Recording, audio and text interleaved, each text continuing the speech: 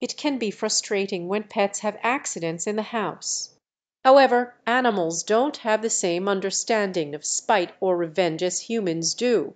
Dogs may have accidents due to various reasons, such as illness, unfamiliar environments, or lack of proper training. It's important to remember that animals communicate differently and it's our responsibility to provide them with proper guidance and care. To avoid future accidents, it's recommended to establish a consistent routine for your dog's bathroom needs and provide them with positive reinforcement when they use the appropriate place.